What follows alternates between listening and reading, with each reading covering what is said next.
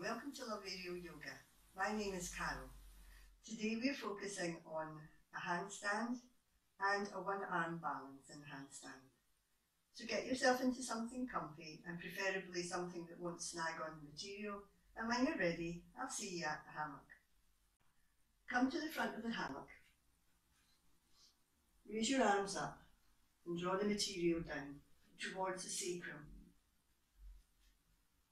Take the weight of your body into the hammock and step forward. Inhale and raise your legs wide and wrap your legs around the material, bringing your feet together. Let your hands slide down the material and bring them down onto the mat. Inhale and wrap your feet around each side of the material. Press your feet away up towards the ceiling. Inhale here and press your arms up into handstand and bring your legs together. Inhale here and exhale.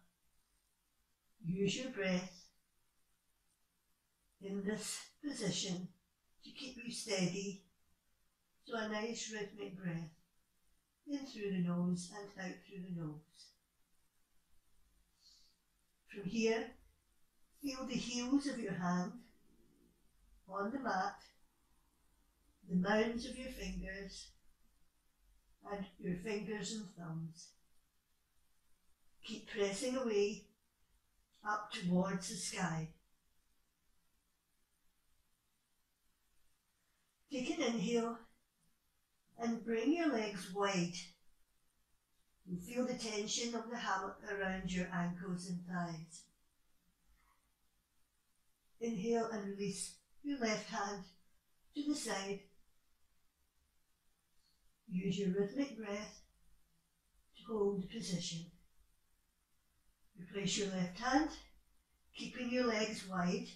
Feel the tension of the hammock around your legs. Inhale and release your right hand.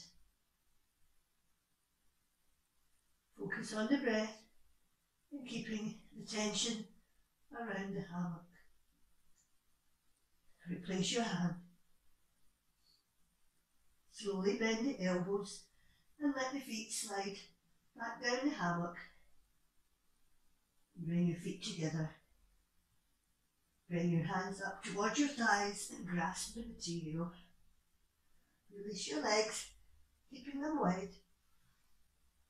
And take a few breaths as your head is lifted above your heart. Inhale and step back onto the mat. I hope you enjoyed this practice today and maybe gets the blood racing around your body. Should you like this video, please give me a thumbs up on my YouTube channel, Love Aerial Yoga. And if you wish to receive further videos like these, then please hit the subscribe button. Thank you.